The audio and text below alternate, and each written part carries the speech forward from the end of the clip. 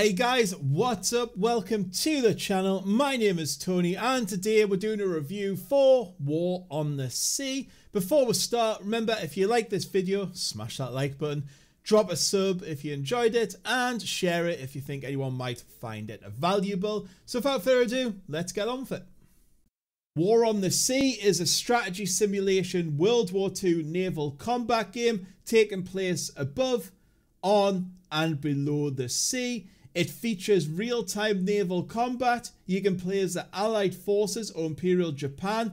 There's over 50 classes of playable ships. There's a dynamic campaign. I'm not too sure about that.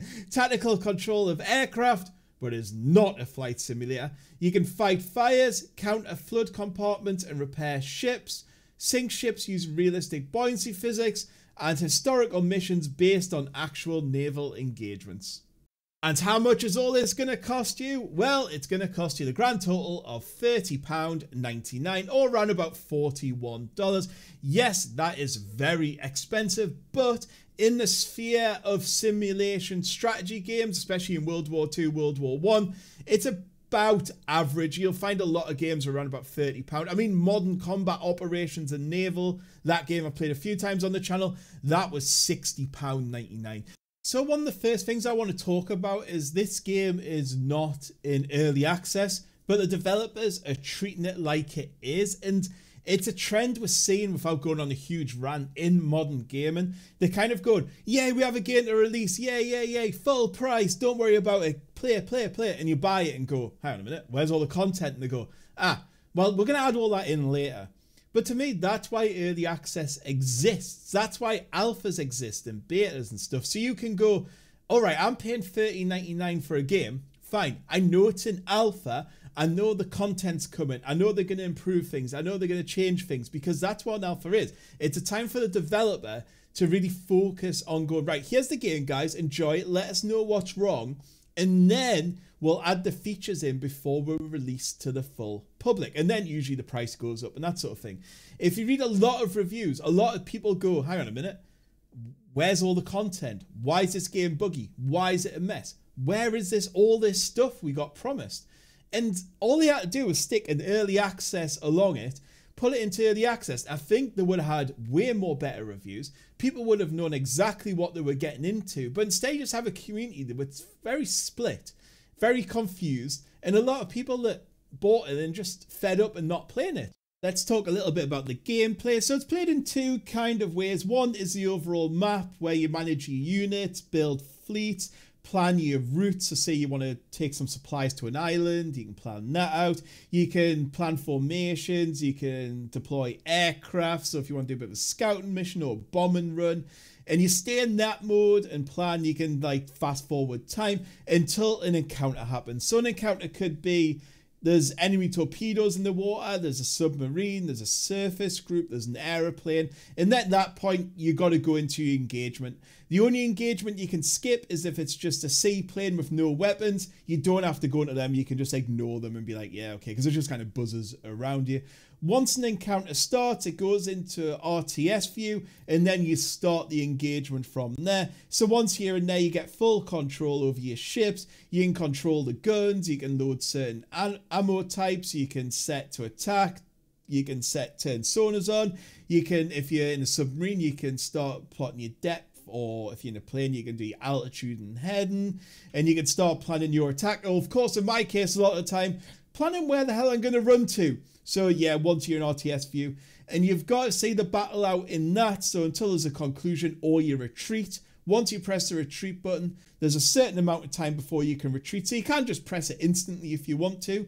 So just bear in mind there is that cool down time before you can leave the battle. And also once you're in RTS mode, it is real time obviously. But you can pause it and you can speed time up as long as you're not attacking. So say some torpedoes in the water, you can't then speed up time. You've got to play it in real time. So the pros, what I really liked was the dive and torpedo bombers were a lot of fun. So just watching them dive down drop the torpedoes in the water and just watching things blow up is always good.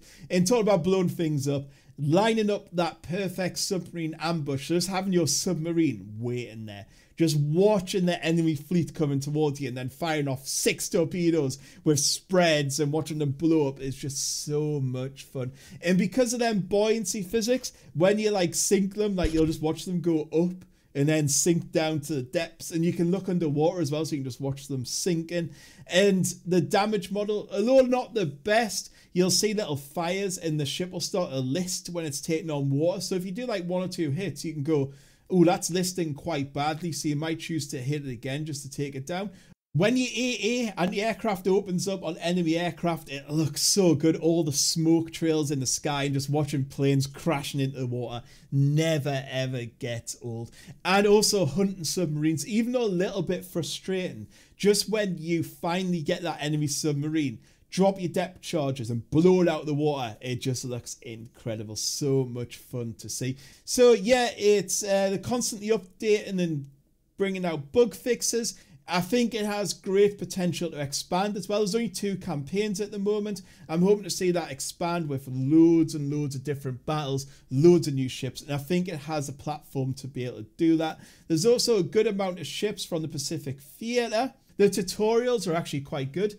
The tutorial teaches you well. It doesn't leave you wanting too much. Uh, tactical combat is quite engaging once you get into it and detailed. So I said before, the ships will list there's fires, and when you're doing that, you can actually choose to flood a compartment on the other side of your ship to balance it out. Or if you're sort of like tilting forward, flood the back end, and you can like flood around fires and just watching that damage control take place and the fires going out as you do is a lot of fun. So yeah, I really like that aspect of it as well.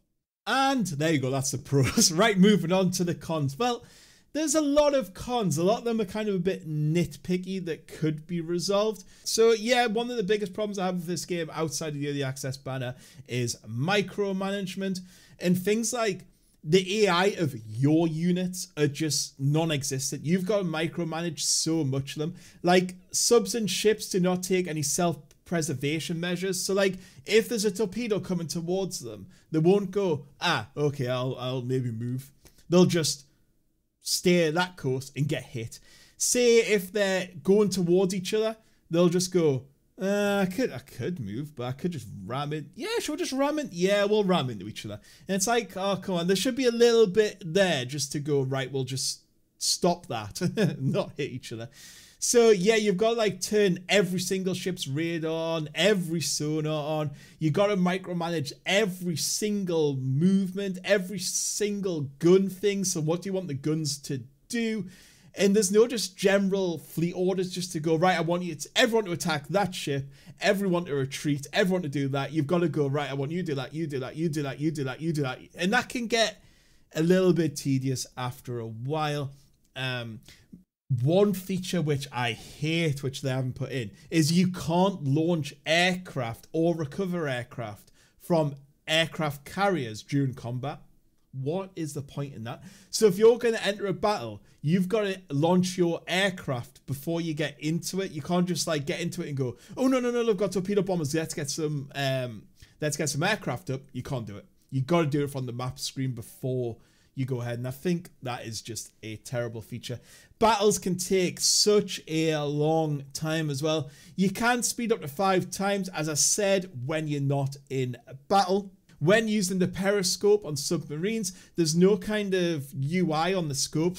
Like like when you play submarine games, you've got to lead your torpedoes because obviously ships are moving. But because there's no UI on that uh, display, you can't do that. It's just a periscope for blank screen.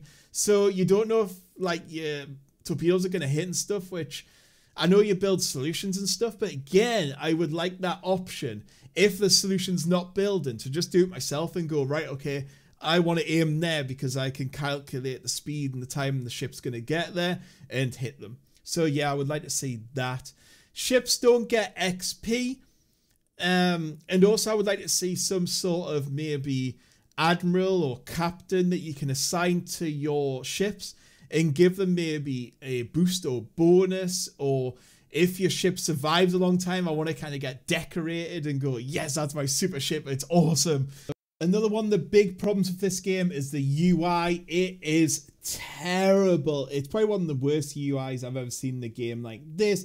Nothing's particularly intuitive or where you're clicking or what you're doing. You do get used to it after a while, but I think there needs to be a lot of changes surrounding that UI, where buttons are placed, how it's set out, and how it's engaging as well. I'd like to see loads more options there. So yeah, be prepared when you're going into this that that UI is a little bit rubbish.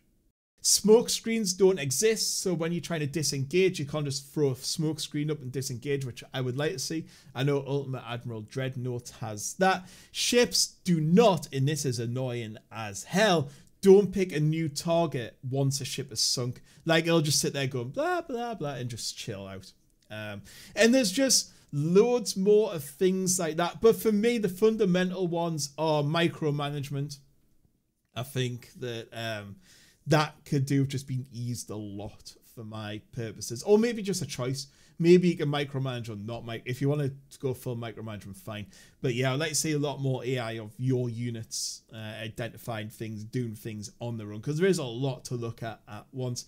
So I say this occasionally with some games, and this is definitely one of them where the developer's forgotten that it's a game and it should be fun. And too often when I'm playing this, I feel like it's a chore, and I'm like, oh, great, another battle, or oh, great, I've got to do everything myself yet again. So yeah, I would like them just to maybe put a few more gamey aspects in it and just make it a little bit more fun in parts. And yeah, that's kind of an overall look at this game. I want to keep it a bit shorter, but be prepared if you're going to get into this game. The cons are there. It's not an early access, so you don't know if any of these things are coming, and it can be quite frustrating at times. But other times, it can go uh, superb when you see all the flak going up in the sky. There's torpedo, there's shells going everywhere, explosions. It can look really good. So I hope you enjoyed this review, and I'll catch you all in the next one. Goodbye.